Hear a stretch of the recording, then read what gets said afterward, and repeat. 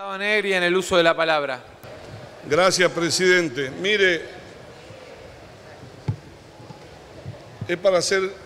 una cuestión de privilegio al cuerpo, porque hemos podido corroborar en este instante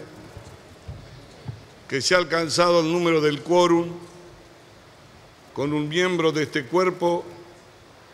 que ya no pertenece más y que pertenece al Poder Ejecutivo, que es el caso del ex diputado Scioli, que por el orden del día 540 del Senado fue designado embajador en Brasil. Con lo cual llegaron a 129 y usted dio por iniciado el quórum necesario con una persona, con un colega que había sido diputado, que dejó el cargo, que tuvo acuerdo en la comisión del Senado y que fue votado en el Senado en ese cargo. Es una situación de anormalidad,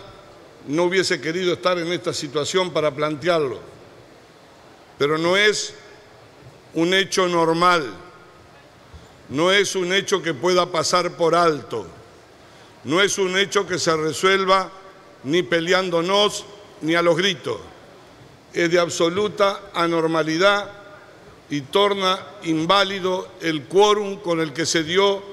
comienzo a la sesión, señor presidente.